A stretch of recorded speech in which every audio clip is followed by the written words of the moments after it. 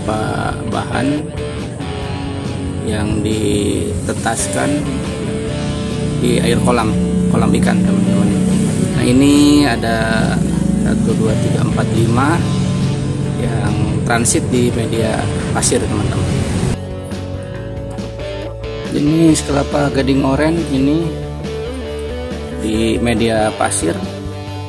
Ini pasirnya terlebih dahulu dicuci steril awalnya ini di media air di kolam teman-teman.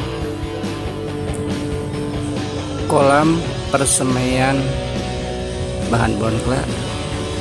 Kolamnya kolam ikan yang ikan air tawar ya ada gurame mujair dan lain-lain. Ini persemaiannya seperti ini. misalnya kelapa sayur. Ini sudah lebih dari satu tahun di semai di atas di kolam ikan. Seperti ini caranya.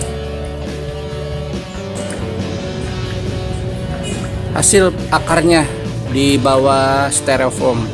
Ini udah sampai 30 cm lebih ini teman-teman panjang banget. Ini kelapa sayur.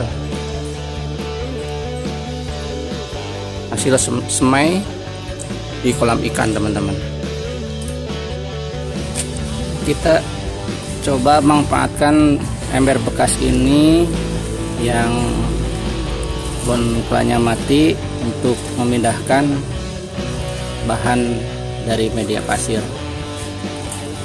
Yang paling ujung itu kita akan coba pindahkan ke media tanah teman-teman